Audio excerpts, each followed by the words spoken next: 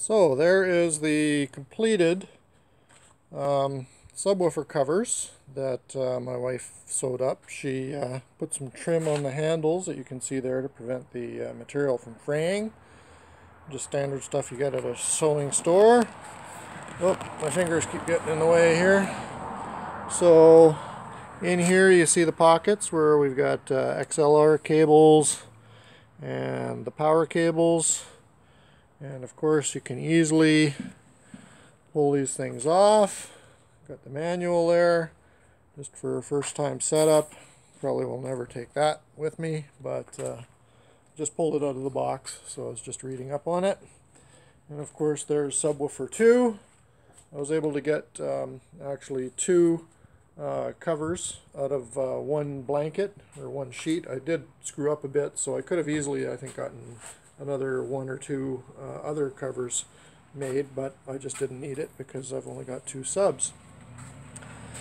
So uh, over here, you can actually, well, there's the box. I just unboxed it. And over there, you can see its bigger brother, the 1500D. Uh, um, I'll probably take that along tomorrow. Just uh, I've got a gig tomorrow at uh, James Bay Edelweiss Club. So I'll probably take that along. As you can see on the bottom, I did a CanNav mod, standing for Canadian Naval Navy mod, um, by putting some uh, dolly wheels on the bottom. Uh, bolting them straight on just makes it a lot easier because it's like 90 pounds.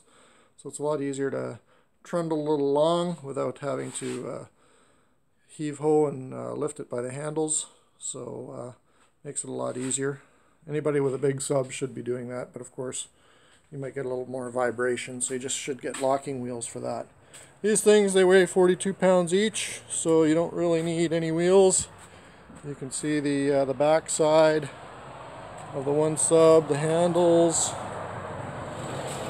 and the front grill it's starting to get a little dark so it's hard to see but uh, we'll give it a good shot tomorrow, see what it sounds like. I'm going to stack them, I think. Hook them up to uh, one of the tops and uh, see how they perform.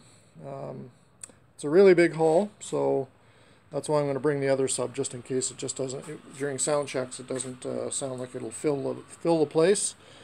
And uh, I'll take some video while I'm there, obviously, for my gig log, and uh, give a give an impression I, of what I think of the, uh, the two subs together um, afterwards.